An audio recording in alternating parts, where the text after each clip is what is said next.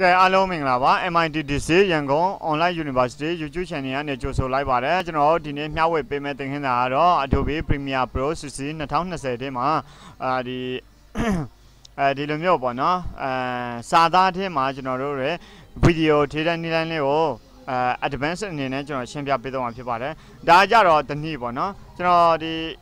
ဒီစာသားထဲမှာဗီဒီယိုထေးတဲ့နည်းလေးကတနည်းနောက်အခုရှင်းပြမှာကစာသားထဲမှာ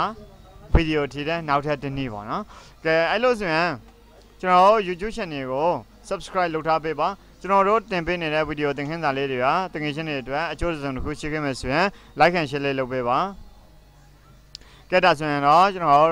အဲဒီ Adobe Premiere Pro CC 2020ထဲကိုတော့ပါမယ် Adobe Premiere Pro CC 2020ကိုဖွင့်လိုက်တဲ့အခါမှာ အဲဆက်အားနိုင်ဖို့လိုတာပေါ့နော်ဆက်အားနိုင်လို့ရှိရင်ဒီကောင်ကအာမြန်မြန်ဆန်ဆန်အလုပ်လုပ်လို့ရမှာဖြစ်ပါတယ်သို့မဟုတ်ဆက်အားမနိုင်ဘူးဆိုရင်တော့အလုပ်လုပ်တာနှစ်ကွဲနေမှာပေါ့နော်ကြက်တာဆိုရင်တော့ကျွန်တော်ဘယ်လိုမျိုးအဲ RAM တွေသုံးရမလဲဘယ်လိုမျိုး CPU တွေသုံးရမလဲအဲဘယ်လိုမျိုးတွေသုံးရမလဲဆိုပြီးတော့ကျွန်တော်ရှင်းပြထားတဲ့ဗီဒီယိုတွေအရင်အရင် tutorial တွေမှာပါထားပြီးဖြစ်ပါတယ်အခုကတော့ကျွန်တော်ဒီ project ထင်မှာ new project ဆိုဒီ tutorial ထင်မှာ new project ဆိုပြီးတော့ယူပါမယ် new project နေရာမှာကျွန်တော်ကဗာပေးမလဲဆိုတော့အဲ့နေရာလေးမှာဟိုဟာပေါ့နော် track mat t r a c k track m a t t e mat track mat key ဆိုပြီးတော့နာမည်ပေးပါမယ် track mac key ကိုအသုံးပြုပြီးတော့ကျွန်တော်ကလုံးဝဖြစ်ပါတယ်အဲ track mac key ဆိုတဲ့ project name နာမည်ပေးပြီးရင်ကျွန်တော်က okay တော့လို့ရပါပြီကျွန်တော်ဟာဒီတိုင်းပဲထားပါမယ် okay ပေးပါမယ်ဒါဆိုရင်တော့ project တစ်ခုရတော့ဖြစ်ပါတယ် project တစ်ခုရတော့ပြီဆိုတော့ကျွန်တော်ဒီနေရာလေးမှာဒီ training ကိုလာပါမယ်အဲ training လာမယ် training လာပြီးတော့ကျွန်တော်ကဒီ import media to start ဆိုတဲ့နေရာမှာ double click နှိပ်လိုက်ပါမယ် double click နှိပ်ပြီးတော့ Adobe Premiere Pro Adobe Premiere Pro ထဲက Track key ဆိုတဲ့အားလေးပေါ့နော် Track key ဆိုတဲ့အားလေးကို open အဲ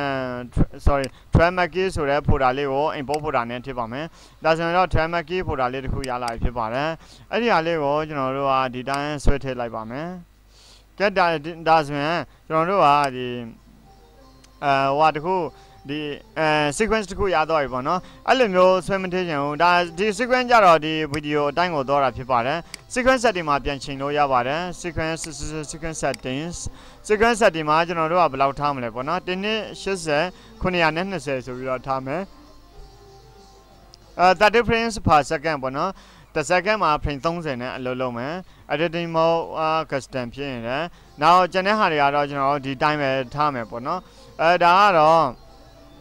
အဲဒါဒီနေရာမှာ okay ပေးလိုက်ပါနော်အဲ maximum render quality ကိုအမှန်ရှင်းထားမယ်ပြီးရင် okay ပေးပါမယ်ကျန်တဲ့ဟာတွေကဘာမှပြောင်းစရာမလိုပြင်စရာလည်းမလိုပေါ့နော်ဒါ180 920ဆိုတာ HD HD ဖြစ်ပါတယ်သူ့ကို okay ပေးပါမယ်ဒီနေထားလေးရတော့ပြီပေါ့နော်ဒီနေထားရတော့ပြီဆိုရင်ကျွန်တော်ကဒီအဲဒီ project ထဲမှာကျွန်တော်မလေးကြည့်လိုက်ပါမယ် ဒီမှာအတန်ဖိုင်လေးတွေပါနေပါတယ်အဲ့နေရာမှာကျွန်တော်ကအဲ့နေရာမှာကျွန်တော်ကအာစာသားလေးတွေထဲမှာပေါ့နော်စာသားရေးမှာဖြစ်တဲ့အတွက်အဲဘယ်ထည့်တော့မလဲဆိုတော့ window window ကနေပြီးတော့ essential graphics ဆိုတဲ့အားလေးပေါ့နော် essential graphic ကိုနှိပ်ပါမယ် essential graphic နှိပ်လိုက်လို့ရှိရင်သူကအဲဒီဒီဘက်ဘင်းနားမှာပေါ်လာမှာဖြစ်ပါတယ် ကဲဒါဆိုရင်တော့အခု edit ထဲကိုဝင်ပါတယ်အဲ edit ထဲကိုဝင်ပါတယ် edit ထဲမှာကျွန်တော်ကစာရေးမှာပေါ့နော်စာရေးမှာဖြစ်တဲ့အတွက်ဒီဘက် down လေးမှာရှိတဲ့ new layer ကိုနှိပ်ပါတယ် new layer မှာ text ဆိုတာရှိမယ် text particle ရှိမယ် rectangle ရှိမယ် ellipse ရှိမယ်အဲ prompt file ရှိမယ် file ကနေယူရတာလေးရှိမှာပေါ့နော်အဲကျွန်တော်အဲ့နေရာမှာ text ကိုနှိပ်လိုက်ပါတယ် text ကိုနှိပ်လိုက်တဲ့အခါမှာ text layer လေးဟာဒီ အဲဒီ program monitor ပေါ်မှာကြာလာမယ်အဲ့ text အဲ text layer ပေါ်မှာစာရိုက်မှဖြစ်တဲ့အတွက်ပေါ့နော် text layer ကိုစာရိုက်မှဖြစ်တဲ့အတွက်သူ့ကိုအရင်ဆုံး align center ချမယ်အဲ့ဆိုရင်ဒီနေရာမှာ align အဲ align align center ပေါ့နော် align အဲ horizontal center ဆိုပြီးတော့ align center ကိုရှာလိုက်ပါမယ်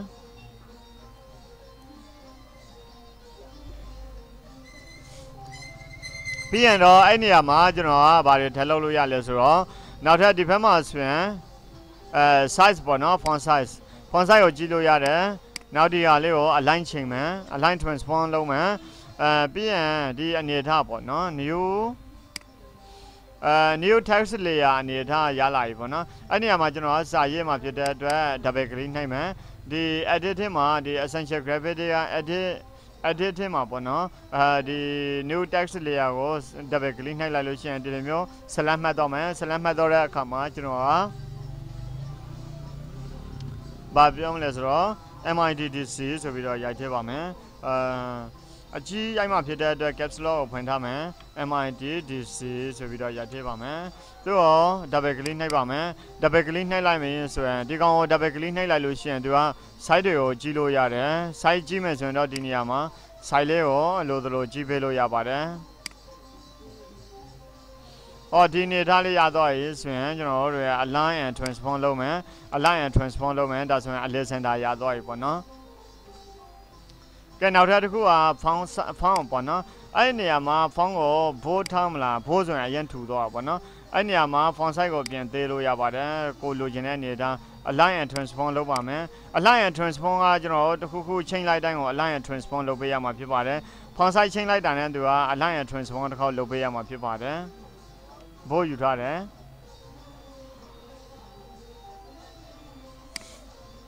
ဒါကြတော့ဒီ fail ပါ ပြီးရင် stroke ကိုကွက်ပါမယ် stroke ကတော့ကျွန်တော်ကာလာလေးတစ်ခုချိန်ထည့်ပါမယ်အဲ့နေရာမှာအဝါရောင်ပေါ့နော်အဝါရောင်လေးဒီ stroke ကိုလေကျွန်တော်ကဒီနေပြီးတော့ဘယ်လောက်ထားမလဲဆိုတော့30လောက်ထားပါမယ်30လောက်ထားမယ် enter ခေါက်လိုက်မယ်ဒါဆိုရင်30အနေထားရောက်သွားပြီ30ဆိုတာအရန်ကြီးနေတယ်ဆိုရင်တော့ကျွန်တော်တို့လည်း30ပေါ့နော်30လောက်ထားပါမယ်ကဲဒါဆိုရင်တော့နောက်ထပ်ဘာလုပ်လို့ရသေးလဲဆိုရင်သူက ဘာတွေလုပ်လို့ရသေးလဲဆိုရင်ဒီအောင်းမှာအဲအဲဒီနောက်ထပ်ဒီကောင်ကတော့တော်တော်လေးစုံတော့မယ်ထင်ပါတယ်ဒီလောက်အနေထားကိုအချိန်တက်ပြီဆိုရင်ဒီ text နဲ့ပတ်သက်ပြီးတော့တော်တော်လေးစုံမယ်လို့ထင်ပါတယ်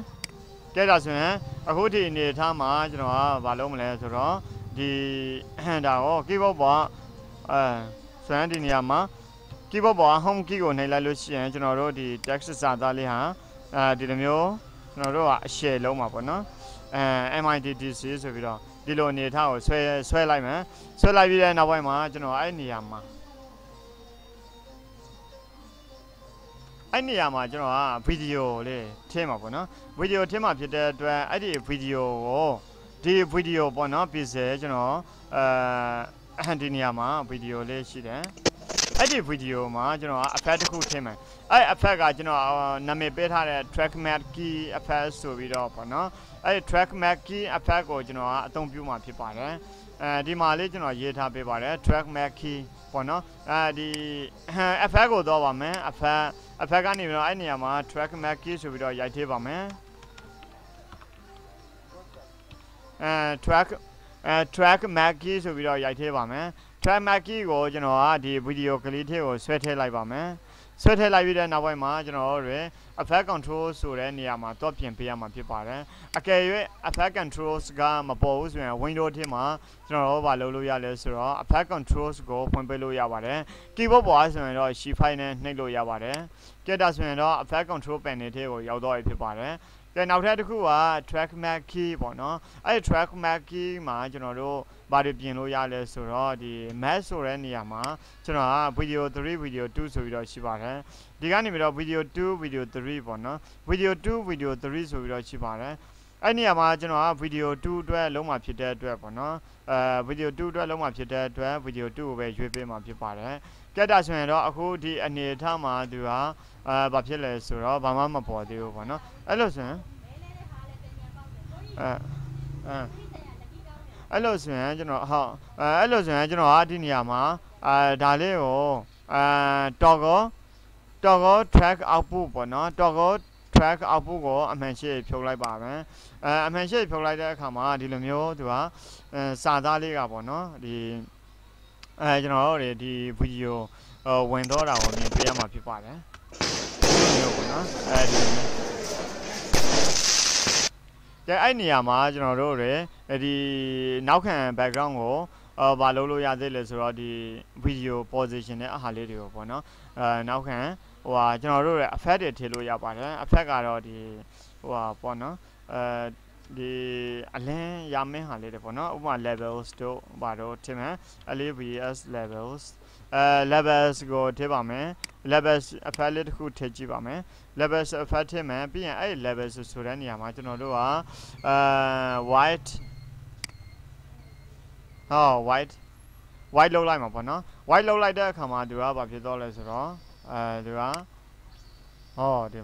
ဒီလိုမျိုးတွေပေါ်လာတာပေါ့နော် white black out အဲ black out လောက်လိုက်မယ်ပြီးတော့ဒီမှာ black in black in လောက်လိုက်မယ်ဆိုရင်သူကဘယ်လိုဖြစ်တော့လဲဆိုတော့သူကဒီ effect ကိုကျွန်တော်တို့ထည့်ထားတာဖြစ်တဲ့အတွက်ပေါ့နော်အဲဒီ effect ကိုထည့်ထားတာဖြစ်တဲ့အတွက်အခုနက effect ကဖုံးနေတာပေါ့နော်အဲ့လိုဆိုရင်ကျွန်တော်တို့ဒီကောင်လေးနှစ်ခုကိုကျွန်တော်တို့ပြောင်းပြန်ရှင်းကြည့်ပါမယ်ဥပမာကျွန်တော်ဒီ track map effect ကိုအောက်ကို switch ရမယ်ပေါ့နော်အာအောက်ကို switch ရမယ်ဆိုတော့ဒီနေရာမှာသူက အဲမပေါ်ဘူးပေါ့နော်မပေါ်ရင်ကျွန်တော်တို့ဘာလုပ်လို့ရလဲဆိုတော့ဒီ level ဆိုတဲ့နေရာမှာအဲ level ဆိုတဲ့နေရာမှာဒီအဲ white in ကိုကျွန်တော်တို့တင်ပါမယ်ကဲသူရောနောက်ထပ်တစ်ခုကအဲဒီနေရာမှာ short ချပါမယ်သို့မဟုတ်သူရော reset လေးတွေပြန်ချပါမယ် reset reset ပေါ့နော် reset လုပ်မယ်ကဲဒါဆိုရင်အခု ဒီ video effect လေးကအနောက်မှာအလင်းရှိရင်ရှိသလိုသူကပေါ်မှာဖြစ်ပါတယ်အဲတော်တော်များများဒီ effect တွေကိုဟိုတုံးတဲ့အခါမှာပေါ့နော်ကြည့်လိုက်မယ်ဆိုရင်တော့ဟိုဟိုဟာမတိတာဘူးပေါ့နော်မတိတာတော့ဘယ်လိုတွေလုပ်လို့ရသေးလဲဆိုရင်ဒီနေရာလေးမှာအဲဟောကစားပေးလို့ရပါတယ်နည်းနည်းလေးကစားပေးလို့ရပါသေးတယ်ပြီးရင်ဒီနေရာမှာ white ဟောဒီနေရာမှာလည်းကစားလို့ရပါတယ် gamma အဲ gamma ပေါ့နော်ဒါကြတော့ gamma gamma အနေနဲ့ကစားတာဖြစ်ပါတယ်အဲဒီလိုမျိုးအဖက်ပေါ့နော်အကယ်၍ကျွန်တော်တို့က levels levels အဖက်ကိုကျွန်တော်တို့မသုံးတော့ဘူးပေါ့နော်မသုံးတော့ဘူးဆိုရင်သူကိုအဲ levels အဖက်ကိုကျွန်တော်တို့ကအာဖြတ်မယ်ပေါ့နော်ဖြတ်မယ်ဆိုတော့ delete လုပ်လိုက်ပေါ့နော်ကဲဒါဆိုရင်တော့ track map key မှာကျွန်တော်တို့တွေအဲကြည့်လိုက်မယ်သူကအလင်းရောင်ရှိရင်ရှိသလိုမျိုးအလင်းရောင်ရရင်ရသလိုမျိုးသူက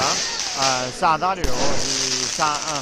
နောက်ခံ background ကနေပြီးတော့ပေါ်နေမှာဖြစ်ပါတယ်ဒါကြတော့ကျွန်တော်နောက်ခံ background ကမှိန်နေတာဖြစ်တဲ့အတွက်ကျွန်တော်သူ့ကိုစာသားကိုပို့ထင်အောင်အတွက်ကျွန်တော်မလုပ်မလဲဆိုတော့ဒီနောက်ထပ်အဲပေါ့နော်ဟိုဟာလေးတစ်ခု down ကြည့်ပါမယ်အဲနောက်ထပ်ဒီအဲဗီဒီယိုကလစ်တစ်ခု down ပြီးတော့ကျွန်တော်ထည့်ပြပါမယ်အဲအဲ့နေရာမှာရှာပါမယ်ဘာနဲ့ပတ်သက်ပြီးတော့လဲဆိုတော့ fireworks နဲ့ပတ်သက်ပြီးတော့ရှာကြည့်မယ်သို့မဟုတ်ဒီနေရာမှာအဲ fancy background လေးနဲ့ပတ်သက်ပြီးတော့ရှာကြည့်မှာပေါ့နော်အဲ fancy background လေးနဲ့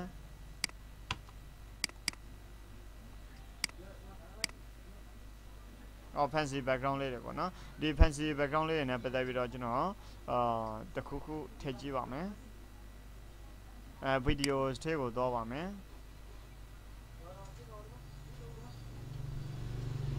ဗီဒီယိုထဲကိုတော့မှဖြစ်တဲ့အတွက်ဗီဒီယိုတစ်ချက်နှိပ်မယ်အဲ့နေရာမှာ fancy background ဆိုတဲ့ဟာလေးကိုကျွန်တော်တို့ကအာအဲ့ဒီကတင်းတော်မဲဟာလေးပေါ့နော်အဲကျွန်တော်တို့အတွက်ဗာတင်းတော်မလဲပေါ့တင်းတော်မဲဟာကိုကျွန်တော်တို့ရွေးချယ်ပြီးတော့အသုံးပြုပါမယ် fancy background အာ fancy background videos ပေါ့နော် VIDOS videos fancy background video ဆိုပြီးတော့ရိုက်ချမယ်အာ panning zoom background drone footage အော်ဒီနေရာမှာဒါလေးဒီထက်ကပဲကျွန်တော်တခုသုံးပြမှာဖြစ်ပါတယ်ကျွန်တော်အသုံးပြုတဲ့ footage တွေတော်တော်များများတော့ဒီကနေပြီးတော့ကျွန်တော် down တာဖြစ်ပါတယ်အဲ့ထက်မှာကိုသုံးမဲ့ဥစ္စာလေးပေါ့နော်ဟိုဘယ်ဟာလေးကကျွန်တော်တို့စာပေါ်နိုင်မလဲပေါ့နော်ပေါ်နိုင်မဲ့ဟာကိုကျွန်တော်တို့ယူသုံးမှာဖြစ်ပါတယ်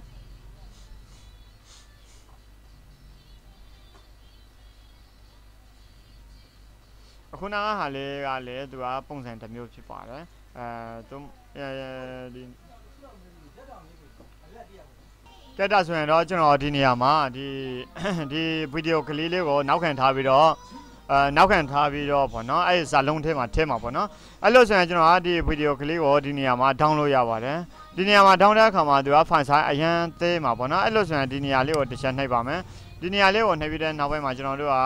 အာဒီမှာ follow လုပ်မယ်ပြီးရင်ဒီနေရာမှာ likes လုံးမှာဗောနော်အဲ့နေရာမှာဒီမှာဒီကနေပြီးတော့ down မယ်ဗောနော်အဲ့နေရာမှာကျွန်တော်ကတစ်ကို 1922ရဲ့1080ရဲ့အဲ့ဒါနဲ့ down ကျင်တယ် full HD နဲ့ down မယ်ပေါ့နော်ပြီးရင် free download နှိပ်လိုက်ပါ free download နှိပ်လိုက်လို့ရှိရင်သူကတခါတည်းဒီနေရာမှာ download link လေးကြားလာမှာဖြစ်ပါတယ် download လေးကြားလာပြီဆိုတော့ဒီနေရာလေးမှာကျွန်တော်က browse ပြမယ်ပြီးရင်အဲ့နေရာလေးမှာကျွန်တော်တင်ထားမယ့်နေရာပေါ့နော်တင်မဲ့နေရာကိုတော့မယ်ကျွန်တော်တင်မဲ့နေရာက F ပေါ့နော် F မှာ new lessons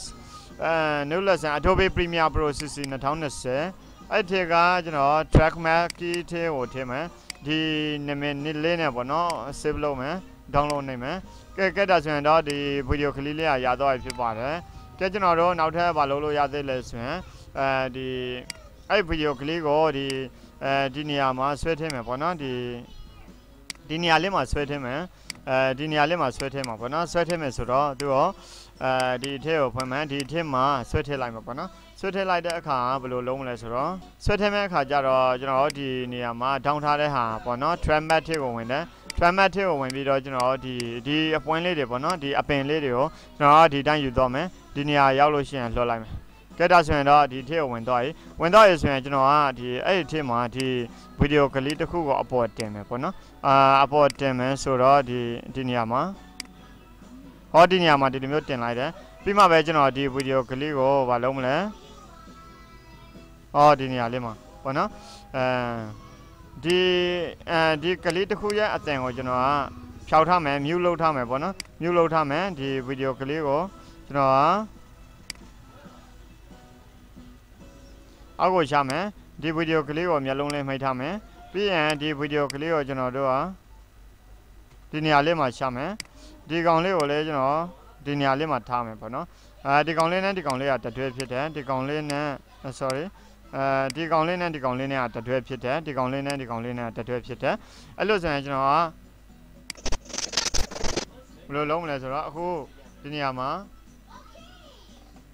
အဲ့နေရာမှာကျွန်တော်ကအဖက်တစ်ခုထည့်ပေးရမှာပေါ့နော်အဲဒီနေရာမှာအဖက်ထည့်မှာဖြစ်တဲ့အတွက်အဲအဖက်ထည့်မှာဖြစ်တဲ့အတွက်ဒီနေရာကိုအဖက်ထည့်ကိုဝင်တယ်အဖက်ပင်နေထည့်မှာကျွန်တော်က track marquee ဆိုပြီးတော့ရိုက်ထည့်လိုက်မယ် track marquee track marquee ကိုကျွန်တော်ဒီဗီဒီယိုကလေးလေးကိုဆွဲထည့်လိုက်မယ်ဒီအပင်ဗီဒီယိုကလေးလေးကိုအခုလောလောဆယ်တော့သူကမဝင်လာသေးဘူးပေါ့နော်အဲ့နေရာမှာကျွန်တော်က map ဆိုတဲ့နေရာမှာကျွန်တော်ဘာလုပ်မလဲဆိုတော့ဗီဒီယိုဘယ်လောက်ကိုထည့်မှလဲပေါ့နော်ဗီဒီယို win ကိုထည့်မှာပေါ့နော်အဲဗီဒီယို win ကိုထည့်မလားဗီဒီယို3ကိုထည့်မလားပေါ့နော်ဗီဒီယို3ကိုထည့်မယ်ပေါ့နော်ဗီဒီယို3ထည့်မယ်ဆိုရင်ဗီဒီယို3လို့ရေးပေးလိုက်ပေါ့နော်ကဲဒါဆိုရင်တော့အခုအဲဒီနေရာမှာ fit size ဖြစ်သွားမယ် fit size ဖြစ်ပြီးတော့ဒါလေးကအရန်ကို site ကြီးနေတာပေါ့နော် site ကြီးနေဆိုတော့ကျွန်တော်ကပြင်လို့ရပါတယ်ဒီကောင်လေးကိုပြင်ပြင်မဲ့အခါကျတော့ edit MITDC ကိုတော့မယ် MITDC ကိုတော့ပြီးတော့ကျွန်တော်တို့လိုချင်တဲ့အနေအထားကိုပြင်မယ်ပေါ့နော်။အော်အဲ့လိုမျိုးပေါ့နော်။မိမိတို့လိုချင်တဲ့အနေအထားလေးတွေကိုပြင်လို့ရပါတယ် site လေးတွေကိုလိုချင်တဲ့အနေအထားလေးတွေပြင်တော့ဒီနေရာလေးမှာ transform လေးလုပ်ပေးရမှာဖြစ်ပါတယ်။အဲ့ခါကျရင်ကျွန်တော်တို့ကပလဲကြည့်ပါမယ်။ MITDC ပေါ့နော်။ကဲဒါဆိုရင်ဒီနေရာမှာအတန်ဖိုင်လေးကနှစ်ဖိုင်ဖြစ်နေတယ် ဒီအတန်ဖိုင်ကိုကျွန်တော်တို့ကဒီအောက်ကအတန်ဖိုင်ကိုမြူးမယ်ဒီအတန်ဖိုင်ကိုမြူထားမယ်ဆိုရင်ဒီလိုမျိုးရလာမယ်ဒါဆိုရင်တော့ဒီကျွန်တော်တို့ကဒီဗီဒီယိုစာသားလေးကိုပေါ့နော်အဲဒီနေရာလေးမှာမလုပ်လို့ရသေးလဲဆိုရင်နောက်ထပ်ဒီဘိုးတင်ထားတာတွေကိုကျွန်တော်တို့ကတသက်ဟိုဟာကျွန်တော်ဒီ ဟိုတင်းတော်မင်းဟာလေးနဲ့ကျွန်တော်ရွေးပြီးတော့လုပ်ပေးမှာပေါ့နော်အဲဒီနေရာလေးမှာဒီလိုမျိုးဆိုရင်ပို့ပြီးတော့ကြည့်ကောင်းမယ်ပြီးရင် site လေးကိုနည်းနည်းလေးသေးမှာပေါ့နော်အဲ align and transform ကိုနှိပ်မယ် align and transform ကိုနှိပ်ပြီးတဲ့နောက်ပိုင်းမှာကျွန်တော်တို့ကဘာလုပ်လို့ရသေးလဲဆိုတော့အဲဒီအဲသူ့ကို ပလေးကြည့်ပါမယ်အဲ့လိုဆိုရင်ဒီစာသားထည့်မှာပေါ့နော် MITDC ဆိုပြီးတော့ပေါ်နေမှာဖြစ်ပါတယ်ပြီးရင်ဒီနေရာမှာဘာလုပ်လို့ရသေးလဲဆိုတော့ကစားလို့ရပါသေးတယ်အပေါ်အောက်သွားချင်တယ်ဆိုရင်သွားလို့ရတယ်ပြီးရင်ဒီနေရာလေးမှာနောက်ထပ်တစ်ခုကပြီးရဆိုင်လေးကိုနည်းနည်းသေးမယ်ဆိုင်လေးကိုနည်းနည်းသေးမယ်အဲပလေးကြည့်ပါမယ်ပလေးတဲ့အခါမှာ keyboard ပေါ်ကစပေးပါဝင်နေပြီးတော့ပလေးလို့ရပါတယ် MITDC ပေါ့နော် MITDC